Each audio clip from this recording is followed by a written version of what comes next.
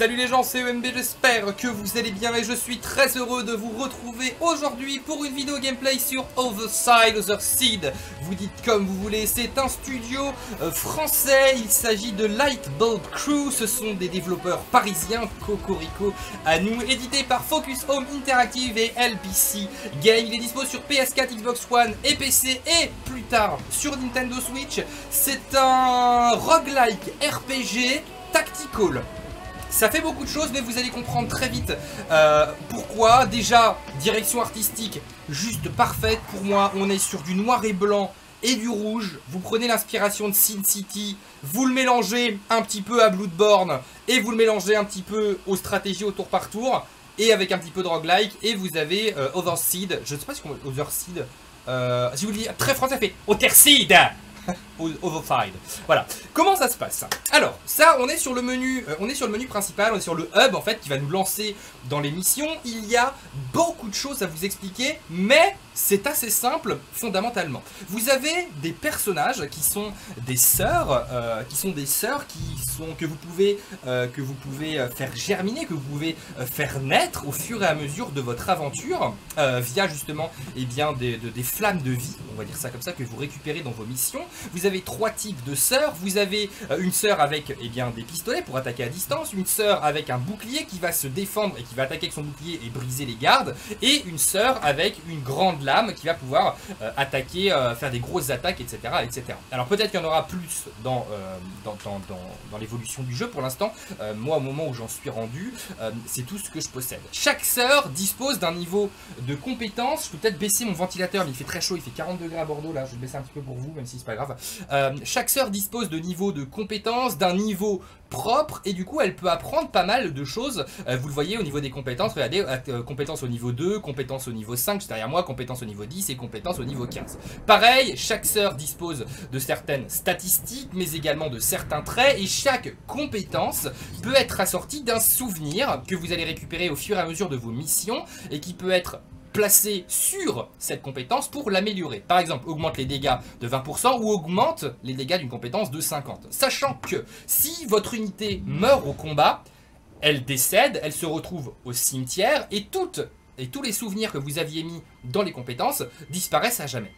Ça, c'est la première chose. Deuxièmement, comme on est dans un roguelike, c'est un jeu qui va justement vous pousser à mourir. C'est un jeu dans lequel vous allez forcément mourir. Et en fait, la mort va vous apporter des choses supplémentaires. Donc plus vous allez avancer dans le jeu, plus vous allez mourir, plus vous allez débloquer euh, de choses. Ensuite, quand vous mourrez totalement, eh bien vous passez à la réminiscence suivante. En gros, les réminiscences, c'est des parties. Par exemple, là, on va entamer notre réminiscence 2. On a fait une bonne grosse première réminiscence sur la première. Mes sœurs sont toutes mortes et je démarre avec trois nouvelles sœurs et également un petit peu, un petit peu d'éclat qui me permettent d'activer des choses. À la fin de... Euh, attendez, quand je suis je suis intérieur. À la fin de la première réminiscence, on vous octroie des éclats pour la, la, qualité de votre performance, on va dire ça comme ça. Et du coup, dans les souvenances, vous pouvez activer ces éclats pour avoir des bonus dans la réminiscence suivante. Par exemple, moi j'ai utilisé ça, débuté une réminiscence avec deux souvenirs, donc que vous avez vu juste avant. J'ai activé celle-ci, toutes les sœurs obtiennent plus 15% de PV, et j'ai activé une troisième réminiscence que j'ai débloquée, qui est là, permet de ressusciter une sœur morte au combat. Donc là, on va commencer assez simplement. Je vais aller ressusciter une des sœurs que j'ai eues dans la partie d'avant, mais que mais qui est mort. Donc par exemple, moi c'est ma petite Athéna qui est au niveau 3, donc on va la ressusciter elle, c'est via une espèce de petit jeton que vous voyez. Donc on va ressusciter ma sœur Athéna, paf, avec cet emblème, et elle se retrouve dans... Euh, bah là avec, avec mes autres sœurs. je dévoile le trophée d'ailleurs résurrection et elle est là. Elle est déjà au niveau 3, elle a une compétence qui est ici et au niveau 5 elle en déverrouillera une autre. On va partir directement dans le combat parce que bien évidemment c'est ce qui est extrêmement intéressant aussi pour ça on va aller, euh, hop là, attaque disponible, synapse ou alors affronter le boss. On va pas le faire tout de suite, on n'est pas prêt. C'est-à-dire que le boss, il est ultra blindé. Vous voyez que ça se passe par jour. Chaque jour, vous faites une mission, vos sœurs se reposent et ensuite vous continuez, vous continuez, vous continuez. Petite particularité aussi qui fait que le jeu est difficile, c'est que quand, votre, quand une de vos sœurs, donc un de vos personnages, est blessée,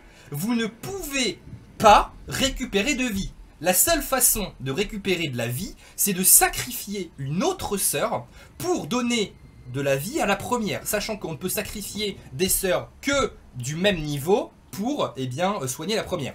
Voilà, c'est peut-être assez compliqué, il y a peut-être pas mal de choses, mais au final, euh, ça s'apprend au fur et à mesure. Il y a un bon didacticiel au début qui vous explique. Bref, allez, on part sur la première attaque. Il nous faut des sœurs, il faut une à trois sœurs, des récompenses pour l'expérience, des éclats et des euh, flammes de vitae, donc de vie. On sélectionne les sœurs qu'on veut envoyer au combat. On va sélectionner notre petite Athéna de niveau 3.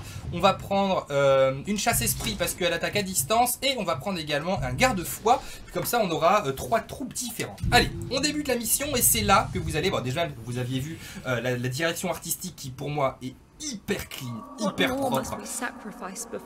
Sin City, mais vraiment, c'est vraiment pur Sin City avec la, pluie qui, tombe sur les, euh, sur les pavés qui font très parisien encore une fois. Euh, bah oui, les pavés c'est parisien, je pense qu'on est tous d'accord là-dessus. Euh, et vous allez voir, c'est du tour par tour, mais au-delà de ça, vous avez des super belles animations. Enfin, moi j'adore. Je, je trouve le jeu très beau, très clean, très propre. Et bref, allez, on se concentre. Et c'est parti. Donc on a quatre ennemis, euh, quatre ennemis à battre sur cette map qui vont arriver euh, petit à petit. On en a un qui est ici, vous le voyez. Alors on peut aller l'examiner si on veut. Il a en termes de déplacement, portée et statistiques. Vous voyez que en termes de déplacement, il peut aller jusque là. Euh, en termes d'attaque, il a quoi? Inflige jusqu'à 420 de dégâts à une sœur et il a, je sais pas ce qu'il a comme compétence. Il y a quoi d'autre? On en a un ici. On en a un ici, lui vous le voyez, c'est un ennemi qui va pouvoir attaquer à distance, donc on fera attention à ce qu'on fait. Et on a un ennemi ici qui attaque également à distance. Donc on va essayer de faire attention par rapport à leur zone de déplacement. Ils vont aller jusque là, lui il va venir lui, il va venir jusque là. Donc, on va avancer nos sœurs. Sachant qu'en bas de l'écran, vous avez une espèce de chronologie. Cette chronologie, elle a plusieurs particularités. Vous allez pouvoir déplacer vos personnages en fonction des points d'action. Il y a des points de vie, des points d'action, des points de bouclier, des points d'esquive. Mais en fait, vous allez pouvoir jouer sur la chronologie même des événements qui vont se dérouler. C'est-à-dire que vous allez avoir certaines compétences qui vont accélérer la chronologie de certains de vos personnages, certaines compétences qui vont nécessiter plus de temps d'action. Et ce qui fait que quand vous allez activer une compétence qui va demander par exemple 30 euh, temps d'action, et sachant que par exemple il y a un ennemi qui devait agir au bout de 25, et eh ben, l'ennemi va devoir jouer avant que vous fassiez votre attaque. Donc il faut vraiment gérer les déplacements de l'ennemi, le nombre de, euh, le nombre de, points d'action que va utiliser l'ennemi en fonction de ce que vous, vous allez utiliser. Voilà, au final, je sais, j'ai totalement conscience que ça peut paraître compliqué, mais au final, ça se passe hyper bien. Allez, on avance nos sœurs, on va avancer elle ici. On va, euh, en termes de compétences, on va, on va laisser comme ça, on la met ici. On, a, on avance Athéna, pareil, on va la caser juste à côté. Qu'est-ce qui fait chaud? C'est incroyable, je suis désolé, je remets un peu de clim parce que... c'est même pas la clim, c'est un ventilateur. C'est infernal. J'espère que ça fait pas trop de bruit. J'espère, j'espère, j'espère pour la vidéo. Allez, on y va. Allez, c'est à eux de jouer. Vous voyez qu'il y a les trois qui vont se déplacer. Bon, il s'est pas beaucoup déplacé, lui, c'est très bien. Lui, c'est du corps à corps, donc il va venir le plus rapidement possible. Et l'autre, c'est aussi à distance, donc il va se rapprocher petit à petit. Ok. C'est à nous de jouer. On vérifie un petit peu leur zone d'attaque. Ok, on peut les laisser là. On va aller, on va les dégommer, le mec qui est là. Donc on avance notre Charity ici.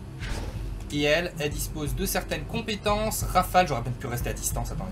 On va se mettre à distance. On va se mettre ici. On va se mettre ici. Et là, on va attaquer. Vous voyez que elle a Regardez, elle a 63 points d'action. Par exemple, la rafale nécessite 25, donc je vais pouvoir le faire plusieurs fois. Allez. Voilà, ça lui fait quasiment aucun dégât parce que je l'ai euh, mal pris. Euh, je vais peut-être me déplacer ici pour le prendre de côté parce qu'en fait vous pouvez flanquer les ennemis, c'est pareil, vous ferez plus de dégâts de derrière, plus de dégâts de côté, etc. etc. Euh, J'ai plus de points d'action parce que je me suis déplacé, donc c'est une mauvaise idée. On va prendre Athéna, on va se mettre derrière. Hop là Et là on va lui faire en taille, sachant qu'elle est déjà au niveau 3. Boum Voilà, ça c'est fait. On l'a dégommé. Forcément on était derrière, on fait plus de dégâts. Euh, ça c'est bon pour nous, on va l'avancer ici. On va attendre. Je trouve ça génial que nos personnages, on puisse les ressusciter, que vous gardiez les points, euh, que vous gardiez les points d'expérience, que, vous puissiez ressusciter certains de vos personnages. En fait, vous allez vraiment vous attacher à vos personnages. Pareil, vous pouvez euh, en faire naître, vous pouvez faire naître des sœurs, leur donner un nom, choisir leur rôle, etc., choisir leurs compétences. Je vous montrerai ça à la fin, de cette première mission. Allez, on termine notre tour, on attend que l'ennemi joue, sachant qu'il y en a trois restants, il y en a que deux qui sont apparus, donc potentiellement, euh, il y en a un autre qui va popper quelque part, je sais pas où, on verra. Ok. Ok, c'est bon. Il va essayer d'attaquer au prochain tour. Vous voyez qu'on s'est bien placé en dehors de leur zone d'exécution. Donc on va pouvoir les avoir. Voilà. Tir chargé, vous voyez, regardez. Là, sur la barre, sur la barre en bas, vous voyez qu'il y a un ennemi qui a fait un tir chargé. Du coup, il va y avoir 39 points, 39 euh, points sur cette barre de chronologie.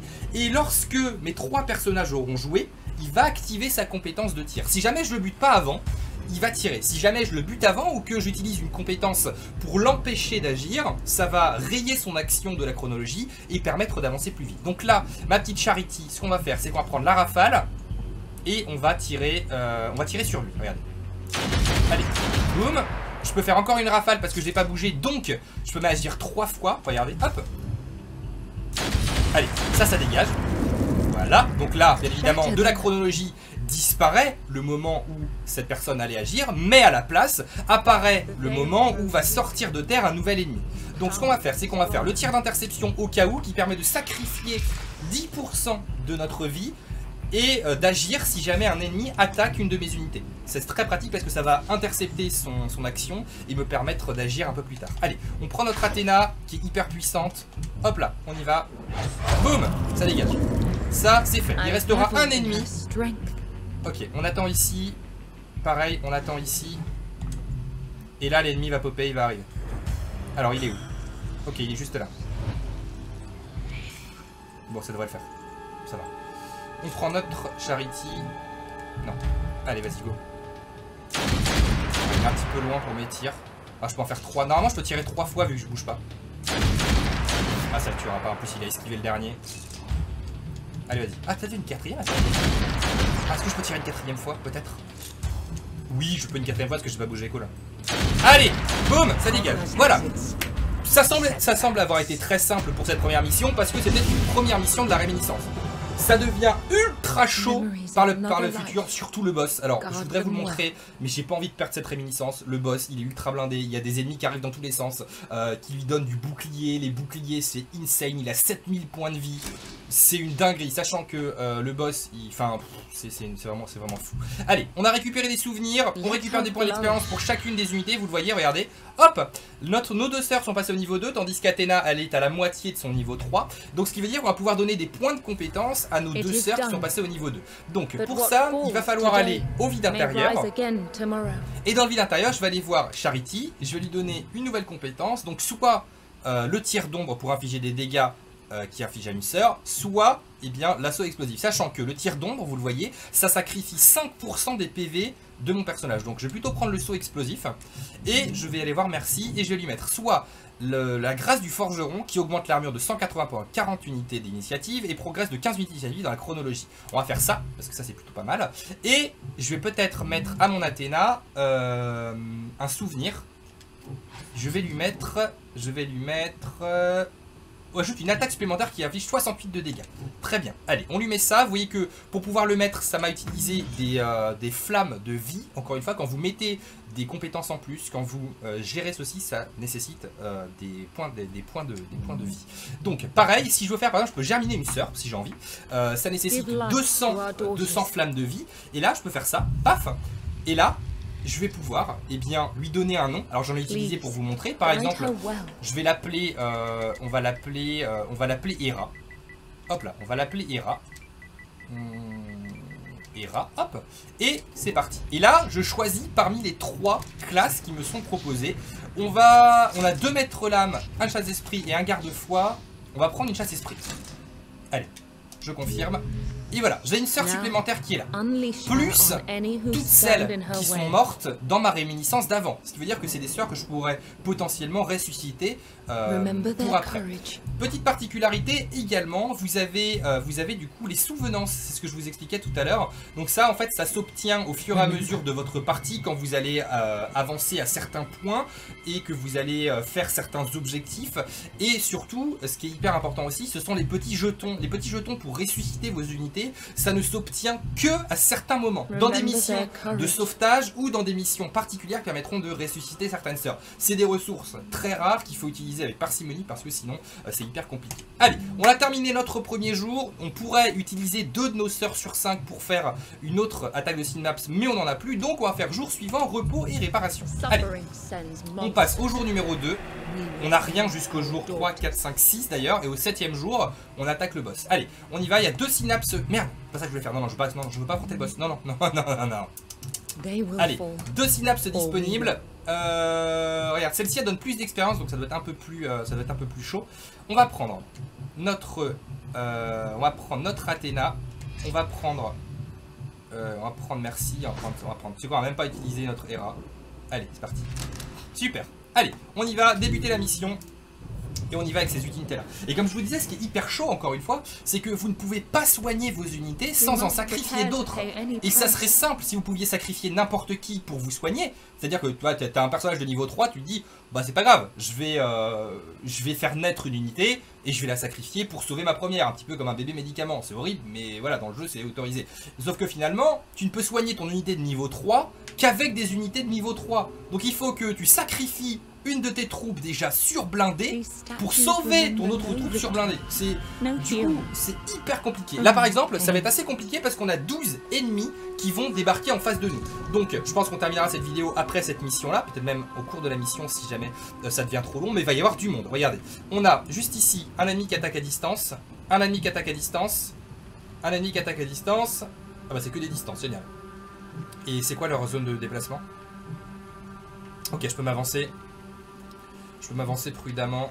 Je suis ici, vas-y. Ok, vas-y, on passe mon tour. Ok, trois unités d'initiative, on est bon. Allez, c'est parti. Je la mets là. Et je vais mettre la troisième ici. Je crois qu'on est bon. hein. On n'est pas, dans- pas dans leur zone de déplacement. Allez, c'est parti. Finir votre tour, c'est l'ennemi. Regardez. Ah, il s'approche pas beaucoup. Ah ouais, ils ont, ils ont bien peur. Il va s'approcher pour rejoindre ses pas. Oh, ils vont venir tous en même temps, ça va être une galère. Oh il s'approche pas du tout. Euh, il se déplace jusqu'où Ouais, tu sais quoi, on va les... On va les caser là, nos sœurs. Et on va attendre. Je peux pas attaquer d'ici. Je peux faire le tir d'interception, mais ça servira à rien. Allez, je mets Athéna devant. Je crois même que je me suis mal placé. Parce que je pense que lui, il va aller... arrêter. Ouais, lui... Attends. Bon, tu sais quoi, je la laisse là, c'est pas grave. Allez, on prend un peu de, on prend un peu de risque, c'est pas grave. Allez, on prend quelques risques. C'est parti. De toute façon, vu que c'est des attaques à distance, souvent... Alors, je sais pas s'ils vont nous... euh, Oh punaise, il y en a deux qui apparaissent juste derrière moi. Oh, la galère On va faire un tir d'interception au cas où, si jamais ça attaque à distance. Là, je perds un petit peu de vie, mais c'est pas grave. On va patienter. Oh, la galère. Ok, c'est un charognard qui va arriver en plus. Lame imprégnée, voilà, ça va faire ça. Regardez, là j'active une compétence qui prend du temps. Donc, ce qui est assez intéressant, c'est que vous voyez que mon attaque, c'est une attaque qui demande des points d'initiative. Donc, 23 points d'initiative, enfin c'était 30, mais du coup 23 parce que ça a avancé. Et regardez sur la chronologie, mon attaque va être disponible, va, va s'activer simplement une fois que 1, 2, 3, 4, 5, 6 unités auront joué. Sachant que sur les 6 unités, il y en a 2 qui seront sortis du sol. Donc avec de la chance, on l'aura bien placé, mais c'est pas encore sûr. On va mettre l'autre ici. On va mettre merci là.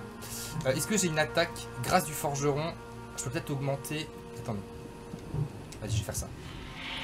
Allez armure accrue. Et on va passer notre tour. C'est parti. Et là, ça va commencer à, à douiller. Ok, alors pardon, il attaque de hyper loin. Oh, la vache. Oh la vache. Ok, 60, c'est 60.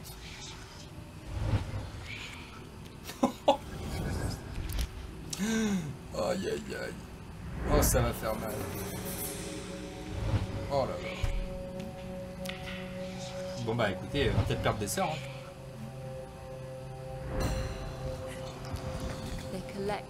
Oh punaise, ils ont bougé en plus. Oh cet abus, je vais, je vais attaquer dans le vide. Oh la vache, il a bougé. Oh merde. Oh c'est la loose. Oh c'est grave la loose. Euh, c'est la loose Bleed them dry. Vas-y go.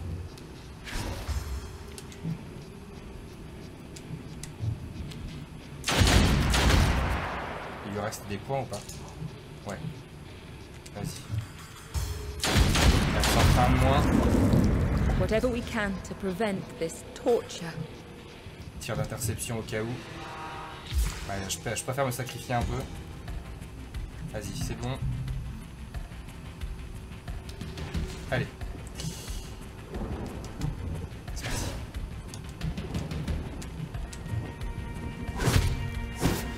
Oh, il a esquivé. Ok, c'est bon, j'en ai eu un. No mercy. Allez, vas-y. Oh, ils vont m'attaquer. Oh, ils vont l'attaquer, Athéna. Ça va être une galère. Impressive. Attendez, je peux peut-être me déplacer un petit peu. Et avec de la chance, je peux lui mettre la grâce du forgeron. Je peux pas. Ah, c'est que sur moi-même. hein. Ça va être compliqué là. Ça va être compliqué. Hein. Ah, puis Athéna, elle est loin en plus. Ouais, elle va se faire défoncer. Oh, le tir d'interception qui fait du bien. Ah bah alors par contre celui-là il passe, hein. 374. Et comme je vous disais en fait dès que votre unité elle perd de la vie c'est chaud parce que je pourrais pas lui redonner, je pourrais, je pourrais pas lui faire recouvrir sa vie sans sacrifier quelqu'un de niveau 3 et j'ai personne de niveau 3 donc mon Athéna, là je suis dans la merde.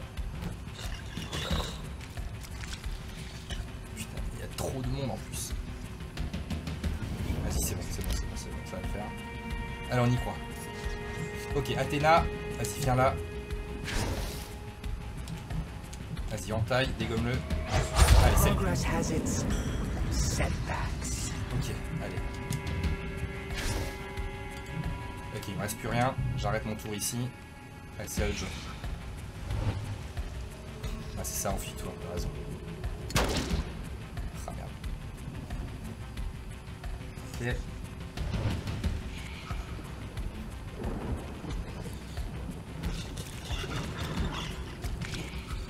Aïe aïe aïe. Ouf. Oh, j'avais pas vu que les deux ils allaient jouer. Oh, S'il m'attaque Athéna, elle va mourir encore. Non, non, non Ah, s'il te plaît, dis-moi qu'il lui reste un peu de vie, s'il te plaît. Oh, il lui reste un peu de vie. Ok, par contre, il faut qu'on aille buter le mec au fond là. Elle en est où, Athéna? Oh, Athéna, elle joue après? Non Attends, euh, Charity. Attends, vas-y, attends, viens là. Vas-y, bute-le, s'il te plaît. Rafale. Lui, vas-y, s'il te plaît. Encore, tu peux encore en faire une, je crois. Dis-moi, tu peux encore faire une rafale, s'il te plaît. Oui. Vas-y, s'il te plaît, dégomme-le. Parce que sinon, Athéna est là. Ok, on est bon. A bitter victory. Bon, j'ai sauvé Athéna là. Tir d'interception au cas où, si jamais euh, quelqu'un se fait attaquer. On passe le tour, et c'est à merci Joe. Ok. Euh, par contre, le problème c'est que... Oh punaise, j'ai rien. Je suis trop loin. Oh non, je suis trop loin Non, Athéna Merde Bon bah Athéna est morte. Ah merde Attendez.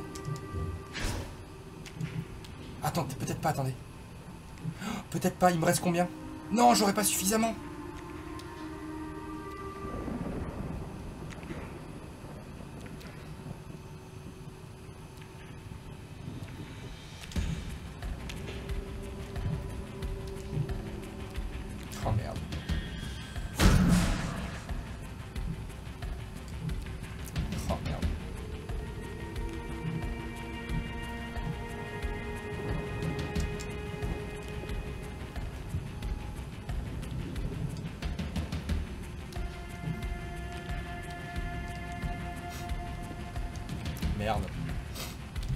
Ah merde.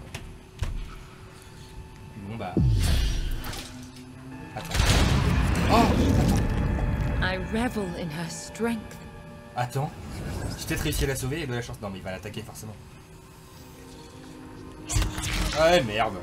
Non Mais non C'était ma, c'était ma plus puissante en plus Oh merde Oh puis réattaque derrière Oh la vache Oh là là Oh cette hécatombe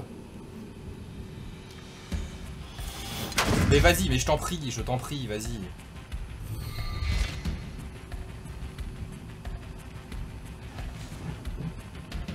Oh, puis je suis trop loin encore.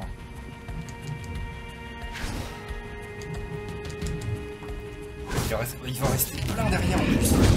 Il en reste, il en reste trois. Oh, comment je vais faire ça? Comment je vais m'en sortir? Ça va être compliqué. hein. Oh, ils sont là en plus. Quoi, il en reste 4 en plus? Ah, j'avais pas vu que j'étais 5. Oh merde.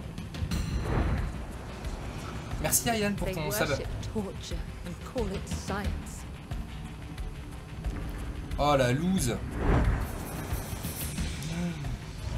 Oh là là. Will the poor one's suffering never end?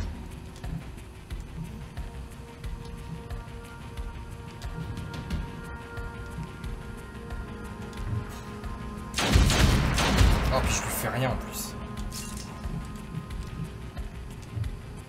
Je vais attaquer 4 fois mais... euh, Ah si je vais réussir à le buter. Encore une fois. Je suis dégoûté pour Athéna. Je suis dégoûté. Shatter them.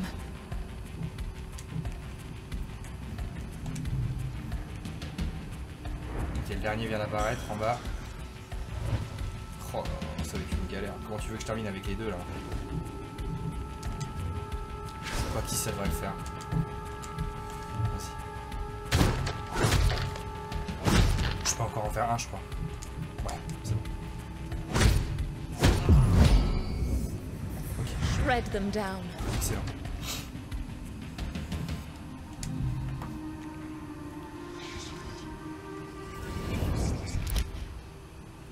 Trop loin, je suis trop loin, je suis trop loin.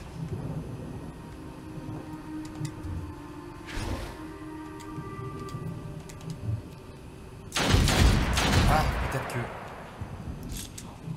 Ouais, c'est bon.